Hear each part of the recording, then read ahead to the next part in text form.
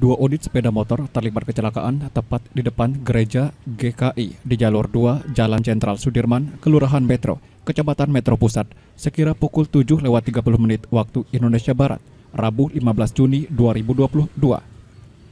Kecelakaan bermula saat Honda Supra X 125 dengan nomor polisi B6081 ERW yang dikemudikan Sumari Hadi Ismanto, 54 tahun, memutar balik dari arah lampu merah. Namun dari arah berlawanan melaju sepeda motor Smash dengan nomor polisi BE 2906 FM yang dikemudikan Eko Afrianto 19 tahun hingga keduanya terlibat kecelakaan.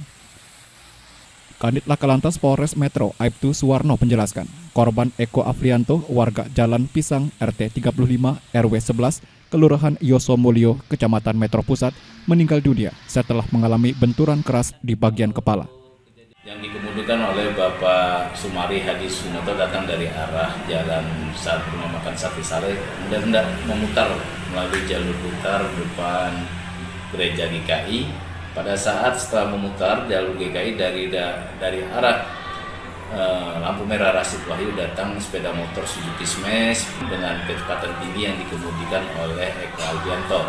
Sehingga terjadilah kecelakaan tersebut yang mengakibatkan e, Eko pengendara Suzuki Smash atas nama Eko Alfianto meninggal dunia di tempat kejadian.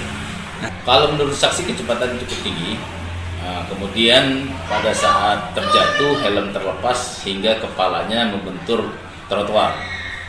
Nah, jadi luka berat di bagian kepala yang mengakibatkan korban meninggal dunia di tempat kejadian. Sementara Sumari Hadi Ismanto, warga Jalan Sedap Malam, RT 19 RW 4, Ganjar Asri, Metro Barat, menjelaskan bahwa kecelakaan tersebut terjadi setelah ia menjalani rutinitas seperti biasa mengantarkan istri mengajar. Kasus kecelakaan ini dalam pemeriksaan unit Laka Lantas Polres Metro. Dari Metro, Yoyo WD melaporkan.